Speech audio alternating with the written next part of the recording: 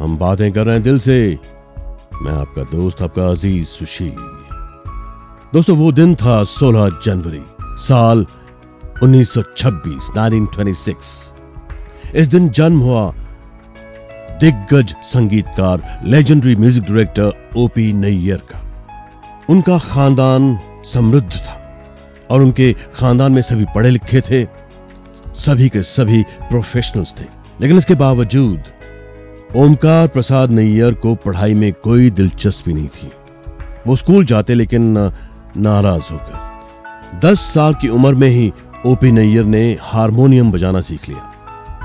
और वो अपनी रचनाएँ, अपनी धुनें खुद तैयार करते उन्हें गाते। और अपने पिताजी की नाराज़गी के बावजूद उन्होंने ऑल इंडिया रेडियो ज्वाइन कर लिया एज अ सिंगर। वो अपने गाने खुद तैयार करते, खुद कंपोज करते, उन्हें गाते, उन्हें पेश करते। 1943 में, यानी 17 साल की उम्र में ओपी नैयर ने एक धुन रची के एल सैगल को दिमाग में रखकर। ये धुन थी प्रीतम आन मिलो इस गाने की। वो चाहते थे कि केल सैगल उन्हें गाए। इस समय उनकी उम्र थी 17 साल। 1945 में, यानी जब वो 18-19 साल के थे, तब एच ने उन्हें अप्रोच किया, क्योंकि तब तक उनका नाम हो चुका था ऑल इंडिया रेडियो पे as a singer as a composer और एच के लिए ओपी नैयर ने प्रीतम आन मिलो रिकॉर्ड किया सी एच आत्मा की आवाज़ में। सी एच आत्मा की आवाज़ के एल सैगल से मिलती जुलती आवाज़ थी। और इस कॉम्पोजिशन के लिए, इस गाने के लिए ओपी नेयर को उस वक्त 1945 में एच ने पे किए चालीस रुपए। उस वक्त ये अच्छी खासी रकम थी। हम बातें कर रहे हैं, दिल से मैं आपका दोस्त, आपका अज़ीज़ सुशील। दोस्तों, हिंदुस्तान की आज़ादी से पहले ओपी नैयर मुंबई चले आए और वहाँ पे गाने कंपोज करने लगे प्रोड्यूसर्स से मिलने लगे। उनके आइडल उस वक्त थे संगीतकार गुलाम हैदर। लेकिन आज़ादी के बाद गुलाम हैदर पाकिस्तान चले गए। इसलिए फ़िल्म कनीज का बैकग्राउंड म्यूज़िक ओपी नैयर को करना पड़ा। फ़िल्म कनीज के गाने गुलाम हैदर ने कंपोज किए थे, लेकिन बैकग्राउंड म्यूज़िक रह गया था, जो ओपी नैयर से पूरा करवाया गया।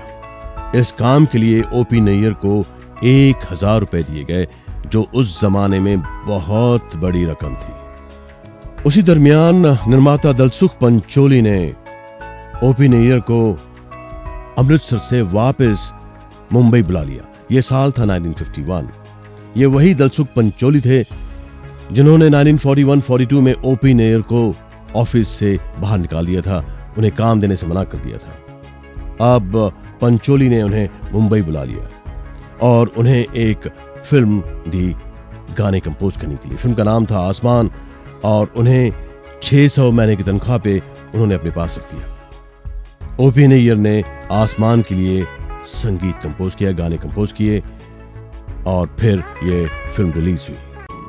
हम बातें कर रहे हैं दिल से। मैं आपका दोस्त, आपका अज़ीज़ सुशील। दोस्तों ओपी नैयर ने फ़िल्म आसमान के लिए गाने कंपोज किए। ये फ़िल्म प्रोड्यूस की थी दलसुख पंचोली ने।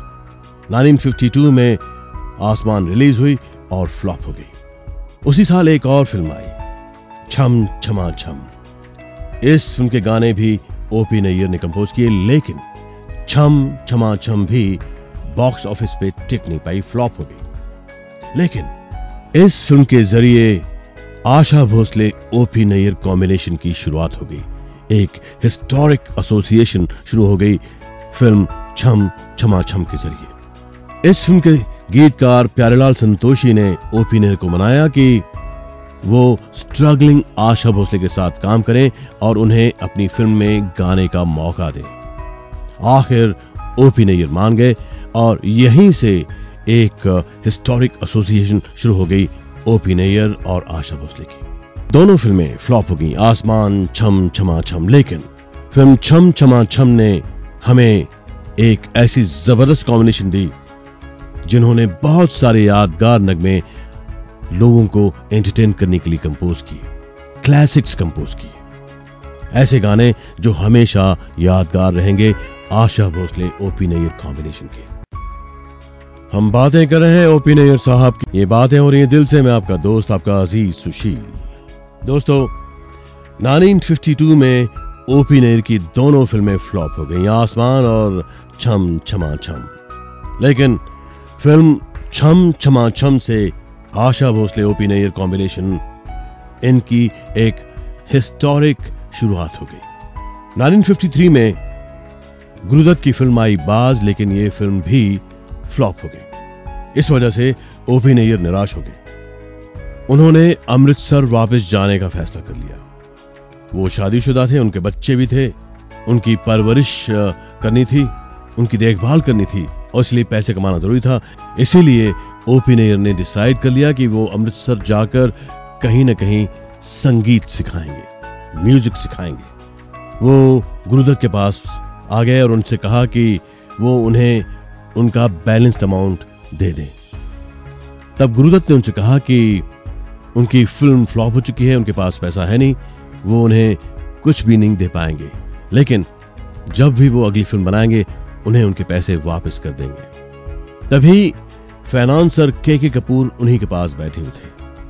उन्होंने गुरुदत्त से वादा किया कि वो उनकी फ़िल्म फाइनेंस करेंगे, डिस्ट्रीब्यूट भी करेंगे, बशर्ते कि गुरुदत्त ओपी नैयर को दोबारा साइन करते हैं। उसी वक्त गुरुदत्त ने ओपी नैयर को अपनी अगली फ़िल्म के लिए साइन किया। एक हज़ार रुपए देकर। दोस्तों, ये साल था 1953 और एक हज़ार रुपए बहुत बड़ी रकम मानी जाती थी। जिस फ़िल्म के लिए गुरुदत्त ने ओपी नैयर को दोबारा साइन किया, के के कपूर के कहने पे एक हज़ार रुपए देकर वो फ़िल्म थी आर पार। ये बातें हो रही दिल से। आपके दिल की गहराइयों से मैं आपका दोस्त, आपका अज़ीज़ सुशील। दोस्तों, जब आर पार रिलीज़ हुई, तब इस फ़िल्म के गाने क्रेज बन गए। ये फ़िल्म बहुत बड़ी हिट साबित हुई। बॉक्स ऑफ़िस पे बहुत चली, गाने बहुत चले, बहुत सराहे गए और आज भी फ़िल्म आर पार के गाने पसंद किए जाते हैं, सुने जाते हैं। फ़िल्म आर पार ने ओपी नैयर को एस्टैब्लिश कर दिया। उन्हें एक बहुत बड़ा संगीतकार बना दिया। दरअसल, गायिका गीता दत्त ने ओपी नैयर को यह फ़िल्म दिलवाई थी। उन्हें ओपी नैयर के टैलेंट में विश्वास था। उन्होंने गुरुदत्त को मनाया कि वो ओपी नैयर को दोबारा साइन करें। और जब के के कपूर तैयार हो गए उन्हें फाइनेंस करने के लिए, तब उन्होंने ओपी नैयर को इसी फ़िल्म के लिए साइन कर दिया। दोस्तों संगीतकार एस डी बर्मन ने गीता दत्त को एक मॉडर्न इमेज दिया था। बाबूजी धीरे चलना इस गाने के ज़रिए। और गीता दत्त का यही image as a singer OP Nayyar ने कंसोलिडेट कर दिया, पक्का कर दिया। आर पार के ये गाने आप दोबारा याद कर लीजिए। एलो मैं, हारी पिया, सुन सुन सुन, जालिमा, जो उन्होंने रफी साहब के साथ गाया था, या फिर जा जा जा, बेवफा, या शमशाद बेगम का गाना। कभी यार, कभी पार। सभी गाने हिट थे। सभी गाने लाजवाब थे। आज भी जब आप ये गाने सुनते हैं तो आप झूम उठते हैं, खुशी से। आपका दिल नाचने लगता है। ये जादू है ओपी नैयर के संगीत की। आज भी, इस जमाने में भी, इन फ़िल्मों के साठ साल बाद भी। दोस्तों, फ़िल्म आर पार ने ओपी नैयर को एस्टैब्लिश कर दिया एज अ कंपोजर और फिर वो एक के बाद एक हिट म्यूज़िक देने लगे। उनकी फ़िल्में बॉक्स ऑफ़िस पे क्रेज साबित होने लगी। ये बातें हो रही दिल से। मैं आपका दोस्त, आपका अज़ीज़ सुशील। दोस्तों आर पार के बाद 1955 में एक और फ़िल्म आई, मिस्टर एंड मिसेस 55 ये फ़िल्म थी गुरुदत्त की। और इसके गाने भी बहुत पॉपुलर हुए। जाने कहा मेरा जिगर गया जी, या उधर तुम हँसी हो, या फिर चल दिए बंदा नवाज़ सभी के सभी गाने hit. Film Mr and Mrs 55 एक और फ़िल्म आई, जिसके गाने भी बहुत पॉपुलर हुए। फ़िल्म थी बाप रे बाप। इसमें एक गाना था, जो टांगे की घोड़े की रिदम पे बेस था। ये टिपिकल ओपी नैयर स्टाइल पिया पिया पिया। इसे गाया था आशा भोसले और किशोर कुमार ने। गाना बहुत क्रेज साबित हुआ। आज भी लोग इस गाने को सुनते हैं तो झूम उठते हैं, गा उठते हैं और इस गाने के साथ नाचते हैं। क्योंकि इसका रिदम ही बड़ा खूबसूरत है ओपी नैयर रिदम है इस गाने का। 1956 में एक फ़िल्म आई, हम सब चोर हैं। इसके गाने भी हिट हुए और उसके बाद ओपी नैयर ने एक ऑल टाइम हिट स्कोर दिया। फ़िल्म थी गुरुदत्त राज खोसला की सीआईडी हीरो थे देवानंद, हीरोइन थी शकीला। सीआईडी के सभी गाने बेहद पॉपुलर हुए। लेके पहला पहला प्यार आँखों ही आँखों में ए दिल है मुश्किल, बूझ मेरा क्या नाम रे और कहीं पे निगाहें, कहीं पे निशाना। दोस्तों, इस फ़िल्म में एक और गाना था, जो एक एंथम सा बन गया। यह है बॉम्बे मेरी जान, रफी साहब की आवाज़ में। दोस्तों सीआईडी के साथ ओपी नैयर ने हैट्रिक क्रिएट की, अपने हिट फ़िल्मों की। Aar Paar Mr and Mrs 55 और सीआईडी इसी साल, यानी 1956 में एक और फ़िल्म आई, नया अंदाज। इसमें एक गाना बहुत ही खूबसूरत था, बहुत ही प्यारा गाना। किशोर कुमार इस गाने को अपने फेवरेट गानों में से एक मानते थे। ये गाना किशोर कुमार ने गाया था शमशाद बेगम के साथ। गाने के बोल थे, मेरी नींदों में तुम। ये गाना भी ओपी नैयर ने कंपोज किया था। बहुत ही खूबसूरत, बहुत ही मिलेटियस दिल को छूने वाला ये गाना ओपी नैयर ने कंपोज किया था। ओपी नैयर एक के बाद एक हिट देते गए उन पे बातें और भी करनी है। इन नगमों के बाद नारी फोर पॉइंट थ्री तुम्हारे एफ़ पे। दोस्तों ओपी नैयर ने तीन बड़ी हिट फ़िल्में दी। एक के बाद और हैट्रिक पूरी कर दी। Aar Paar Mr and Mrs 55 और फिर ऑल टाइम हिट सी और फिर ओपी नैयर एक टॉप के संगीतकार बन गए। उनका अपना एक खास टांगा रिदम था, जो बहुत पॉपुलर हो गया। ये बातें हो रही हैं दिल से, आपके दिल की गहराइयों से। मैं, आपका दोस्त, आपका अज़ीज़ सुशील। दोस्तों 1957 में ओपी नैयर ने दो बहुत ज़बरदस्त हिट फ़िल्में दी। नया दौर और तुम सा नहीं देखा। दरअसल बी आर चोपड़ा की नया दौर के असली हीरो थे ओपी नैयर, उनका संगीत। जरा याद कर लीजिए ये गाने। मांग के साथ तुम्हारा, मैं बंबई का बाबू।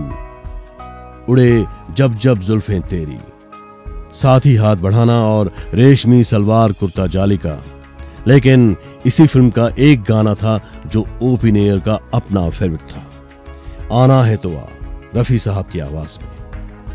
दोस्तों, इसी साल एक और फ़िल्म आई, जिस फ़िल्म ने शम्मी कपूर को पूरी तरह बदल दिया, उन्हें एक नया ज़बरदस्त हैप इमेज दिया। फ़िल्म थी तुम सा नहीं देखा। इस फ़िल्म ने शम्मी कपूर को एक ब्रांड न्यू इमेज दिया। उनके करियर को एक बहुत बुलंद दिशा दी। इसके गाने लाजवाब थे। जवानियाँ ये मस्त मस्त बिन पिए, या फिर छुपने वाले सामने आ, या सर पे टोपी लाल हाथ में रेशम का रुमाल, या फिर आई हूँ दूर से और देख कसम से। दोस्तों, ओपी नैयर ने इतने सारे खूबसूरत नगमे दिए कि आज भी उनके गाने कई बार रीमिक्स किए जाते हैं। हालाँकि रीमिक्स कहाँ तक सही है या गलत, ये सवाल अलग है। लेकिन आज के जमाने में भी ओपी नैयर मॉडर्न है, जमाने से बहुत आगे है। दोस्तों, हम बातें कर रहे हैं ओपी नैयर साहब की। ओपी नैयर, रॉयल, लेकिन रंगीला, इस तरह उन्हें डिस्क्राइब किया जाता था। वो हमेशा अनकन्वेंशनल ढंग से काम करते थे। उनका अपना एक अलग अंदाज था। मैं हूँ आपका दोस्त, आपका अज़ीज़ सुशील। ये बातें हो रही हैं तहे दिल से। दोस्तों 1958 में ओपी नैयर ने बहुत सारे हिट गाने दिए, लेकिन अलग अलग फ़िल्मों में। एक फ़िल्म आई थी, सोने की चिड़िया 1958 में। इसमें एक गाना बहुत पॉपुलर हुआ, रात भर का है मेहमा अंधेरा। बहुत हिट था ये गाना। उसके बाद, फागुन में उन्होंने बहुत सारे हिट गाने दिए, पिया पिया न लागे मोरा जिया, या आसमां पे है खुदा, या फिर एक परदेसी मेरा दिल ले गया। एक और फ़िल्म थी, कभी अंधेरा, कभी उजाला। इसमें एक गाना था जो बहुत पॉपुलर हुआ, सुरमा मेरा निराला।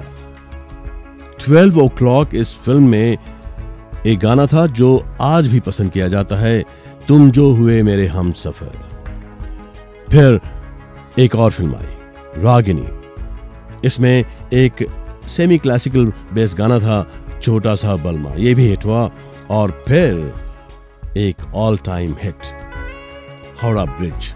इसके गाने बहुत बड़ी हिट हुए आइए मेहरबान और मेरा नाम छिन छिन छू ये गाने बहुत बहुत बहुत बड़ी हिट हुए दोस्तों, ओपी नैयर थे the musically untrained natural genius. OP Nayyar ने संगीत में कोई तालीम नहीं ली थी, लेकिन वो कुदरती टैलेंटेड थे। उनमें नेचुरल जीनियस था। ये बातें हो रही हैं दिल से। मैं आपका दोस्त, आपका अज़ीज़ सुशील। दोस्तों ओपी नैयर ने बहुत सारी हिट फ़िल्में दी। Aar Paar Mr and Mrs 55 CID Tum Sa Nahin देखा, नया दौर, और बहुत सारी फ़िल्में। लेकिन 1959 ये साल उनके लिए कुछ डल सा रहा। उनकी फ़िल्में आई, वर्ली कनाका और दोस्त लेकिन उनकी इन फ़िल्मों के गाने खास नहीं पॉपुलर हुए। 1960 में एक फ़िल्म आई, कल्पना। इसके गाने शास्त्रीय संगीत पे आधारित थे और उन्हें कंपोज किया था, जी हाँ ओपी नैयर ने। इस फ़िल्म का एक गाना बहुत पॉपुलर हुआ। तू है मेरा प्रेम देवता, जिसे गाया था मन्ना डे और मोहम्मद रफी साहब ने। बहुत ही खूबसूरत गाना था। शास्त्रीय रागों पे आधारित। इसी फ़िल्म में एक और गाना था जो आशा भोसले ने गाया था, बेकसी हद से जब गुजर जाए। ये भी बहुत ही खूबसूरत था। दोस्तों, इसी साल एक और फ़िल्म आई, जाली नोट। देवानंद की जाली नोट। इस फ़िल्म के दो गाने बहुत पॉपुलर हुए। एक था रफी साहब का, छुरी बन, काटा बन, ओ सान, और रात सर्द सर्द है। जाली नोट के ये गाने बहुत पॉपुलर हुए। लेकिन 1961 ओपी नैयर साहब के लिए एक शांत, एक खामोश सा साल था। दोस्तों 1961 में दरअसल हिंदी फ़िल्म इंडस्ट्री में काफ़ी चेंजेस आए। तब तक ब्लैक एंड व्हाइट सिनेमा का दौर चल रहा था और 61 में कलर फ़िल्में आना शुरू हो गया था। यह एक बहुत बड़ा चेंज था। ब्लैक एंड व्हाइट से कलर। और नए हीरो आने लगे थे, जैसे कि जॉय मुखर्जी, शर्मिला टैगोर, आशा पारेख। इससे पहले राज कपूर, दिलीप कुमार, देवानंद, राजकुमार, किशोर कुमार, राजेंद्र कुमार, शम्मी कपूर। ये बहुत सारे बड़े एक्टर्स नामी एक्टर्स फ़िल्म इंडस्ट्री में राज कर रहे थे। लेकिन 61 में जब कलर फ़िल्में बनना शुरू हो गई तो ज़ाहिर है लोगों का माइंडसेट भी कुछ हद तक चेंज हो गया। और फिर ओपी नैयर ने अपने आप को री करना शुरू कर दिया। अपने आप को नए सांचे में ढालना शुरू कर दिया। क्योंकि दौर बदल रहा था। कलर सिनेमा आ रहा था और उन्हें अपने संगीत को नए अंदाज में पेश करना था। दोस्तों 1961 ये हिंदी सिनेमा के लिए एक लैंडमार्क ईयर था। इस साल से कलर फ़िल्में बनना शुरू हो गई। इससे पहले जमाना था ब्लैक एंड व्हाइट सिनेमा का। नए नए हीरो हीरोइंस आ गए थे और संगीतकार ओपी नैयर ने अपने अंदाज में, अपने स्टाइल में काफ़ी तब्दीलियाँ की कलर फ़िल्मों से मैच करने के लिए। ये बातें हो रही हैं दिल से, आपके दिल की गहराइयों से। मैं आपका दोस्त, आपका अज़ीज़ सुशील। सीआरई के प्रोड्यूसर थे गुरुदत्त, डायरेक्टर थे राज खोसला। राज खोसला ने ओपी नैयर को दोबारा साइन किया अपनी फ़िल्म एक मुसाफिर, एक हसीना के लिए। ये साल था 1962 इस फ़िल्म के सभी गाने लाजवाब थे। बहुत शुक्रिया, बड़ी मेहरबानी, या फिर आप यूँ ही अगर हमसे मिलते रहे, या फिर एक और खूबसूरत गाना मैं प्यार करा ही हूँ। सभी गाने ट्रेल ब्लेजर्स थे, लाजवाब थे। उसके बाद 1963 में ओपी नैयर तूफ़ान की तरह हिंदी संगीत पे छा गए। एक फ़िल्म आई, नासिर हुसैन की, फिर वही दिल लाया हूँ।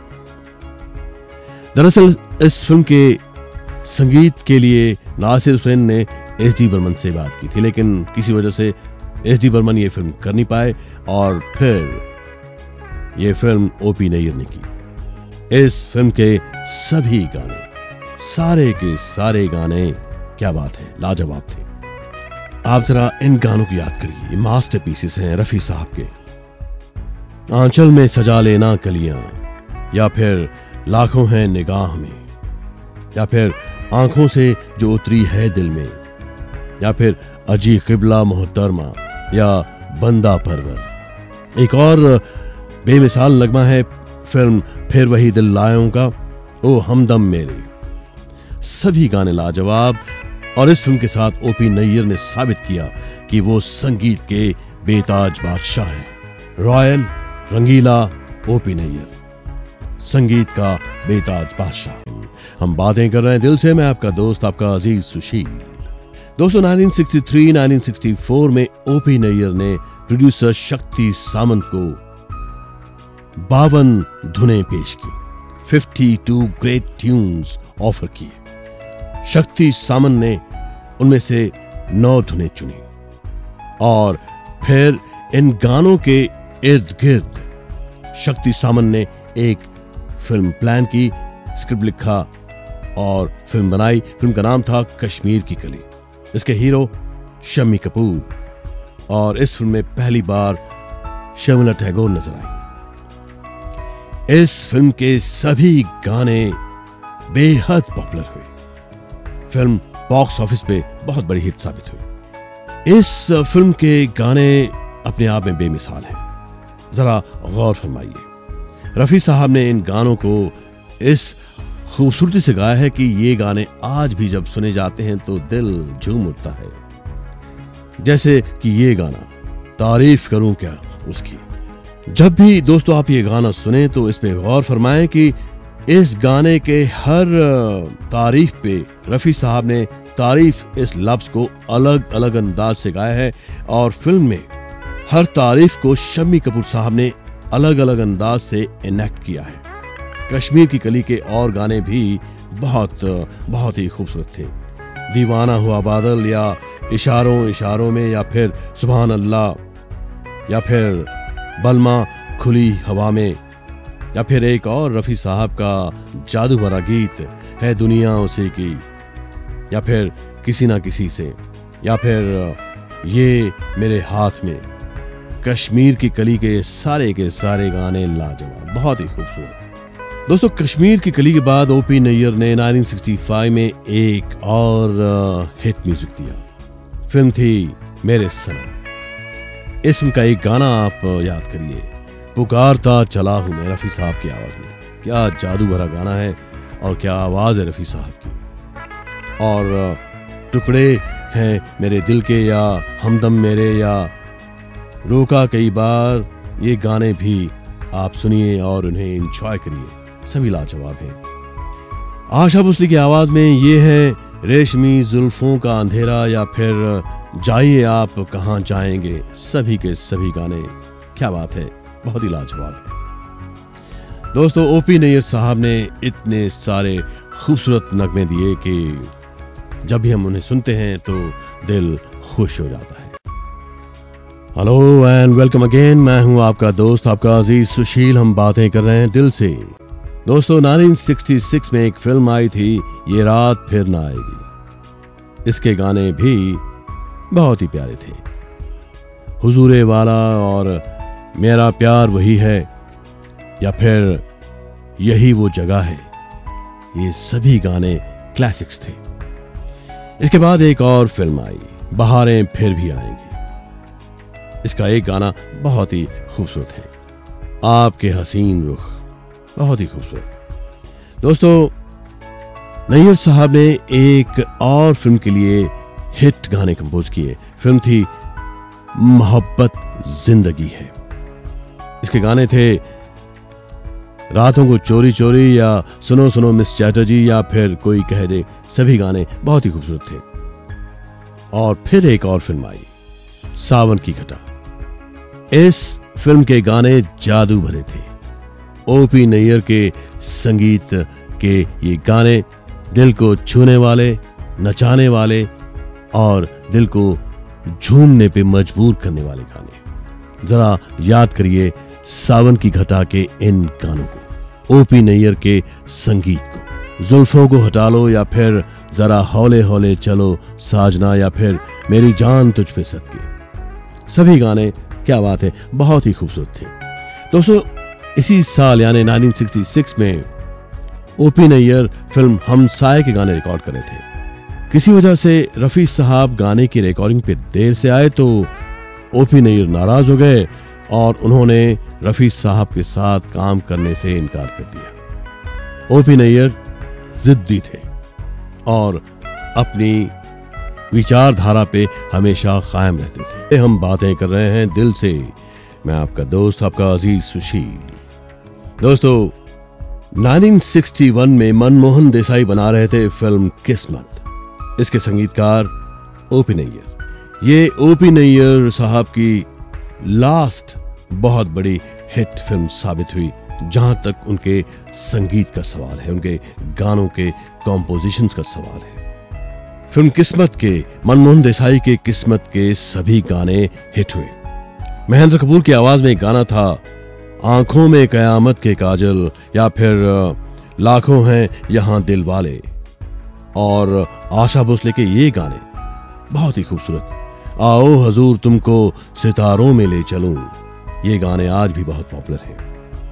इसी फ़िल्म में आशा भोसले के साथ शमशाद बेगम ने एक गाना गाया था, जो बहुत ही अनयूजल बहुत ही खूबसूरत गाना था।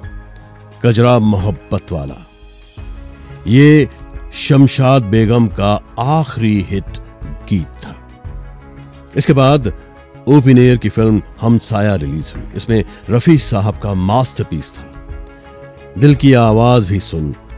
या आशा भोसले की एक बहुत खूबसूरत आवाज़ में, नजाकत भरी आवाज़ में गाना था, वो हसीन दर्द दे दो। या फिर, आजा मेरे प्यार के सहारे, या आशा रफी की आवाज़ में, मुझे मेरा प्यार दे दे। सभी गाने बहुत ही खूबसूरत। इसी साल 1968 में एक और फ़िल्म आई, कहीं दिन, कहीं रात। इसमें महेंद्र कपूर की आवाज़ में एक हिट गाना था, तुम्हारा चाहने वाला, या कमर पतली नज़र बिजली, या फिर ओ यारों की तमन्ना है। सभी गाने बहुत ही अच्छे थे, बड़े प्यारे गाने थे दोस्तों 1966 में जब ओपी नैहर फ़िल्म हमसाय के गानों की रिकॉर्डिंग कर रहे थे, तब रफी साहब एक बार गाने की रिकॉर्डिंग के लिए थोड़ी देर से आए ओपी नैयर नाराज़ हो गए और उन्होंने रफी साहब के साथ काम करना बंद कर दिया। ये बातें हो रही दिल से, मैं आपका दोस्त, आपका अज़ीज़ सुशील। दोस्तों 1971-72 में रफी साहब ने दोबारा ओपी नैयर के साथ काम करना शुरू कर दिया। उनमें जो गलत फहमियाँ थी, वो दूर हो गई। रफी साहब ने ओपी नेयर के एक फ़िल्म, एक बार मुस्कुरा दो के लिए गाना गाया। इस फ़िल्म के गाने बड़े खूबसूरत थे। पाँच गाने किशोर कुमार ने गाए थे। ओपी नेयर के ये गाने बहुत ही खूबसूरत हैं। सवेरे का सूरज या फिर कितने अटल थे तेरे इरादे, या रूप तेरा ऐसा दर्पण में ना समाए या फिर चेहरे से जरा आंचल, या फिर ये दिल लेकर नजराना। ये पाँचों गाने किशोर कुमार ने गाए थे। ओपी नेयर के निर्देशन में। इसी फ़िल्म का एक और गाना था जो रफी साहब ने गाया था। जमाने की आँखों ने देखा है यारों। ये गाना भी बहुत पॉपुलर था।